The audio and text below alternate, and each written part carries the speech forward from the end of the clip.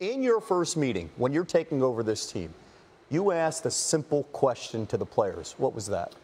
Well, I knew the answer to it too, and and um, I, I, wanted them to to kind of see it in reality. And I asked them, raise your hand if you've been on a winning Texas football team, and three people raised their hand. And I think that that hit home as guys start to look around, and there's only literally three people in this giant team meeting room that have ever finished their season with a winning record at the University of Texas. I think it drove home the point that guys, we, we got a lot of work ahead of us, and and we've we've got some dramatic changes that, that need to happen for us to achieve the things that, that we say we want to achieve. We also know that you're very creative in your strategy, right, of getting players to buy in. We've heard something about you using their breakfast as motivation. Can you explain what this I, is? I, and uh, you know, everything we do in our program is competitive, and I think the only way that you I get asked all the time, well, how do you teach a, a, team that's lost for three straight years? How do you teach them how to win? Because that is a learned skill. That, that's something that